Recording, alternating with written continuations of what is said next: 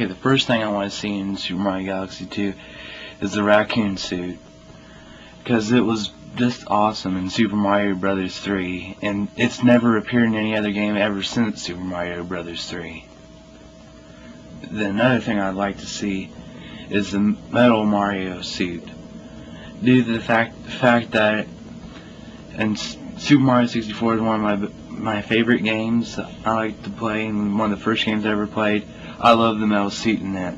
I love to see like a ma magnetic planet which you could use the metal metal suit to get on different platforms or something like that would be awesome.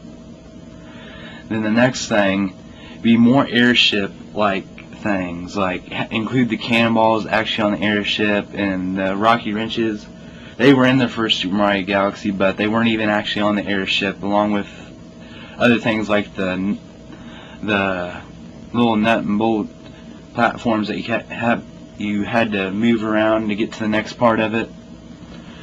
Another thing I that need, actually needs to be in this game is Hammer Brothers because they have not been in one 3D platform or 3D Mario game game ever since the first um, since Mario 64 came out.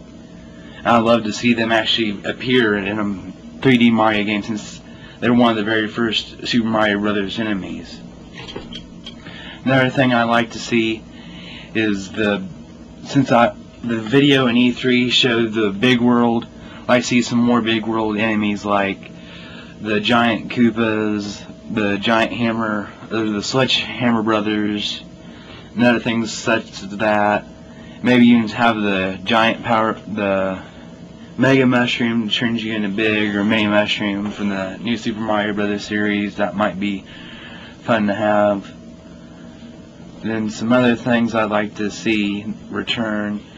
I love to see the Koopalings since they returned in New Super Mario Brothers Wii. I just love to see them back since they haven't been in a Mario game for for about 18 years in a true main story Mario game.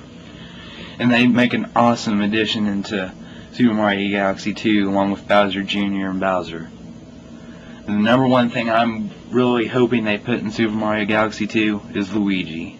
Because Super Mario Galaxy was was awesome because one fact of it was Luigi was actually in it.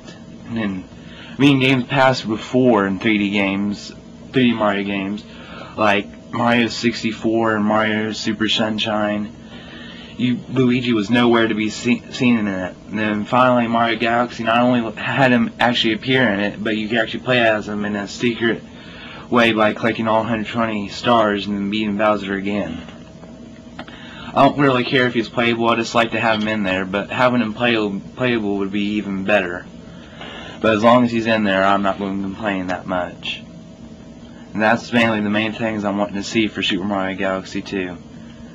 And if you have anything else you'd love to see in it, just leave a comment about it. Thank you so much.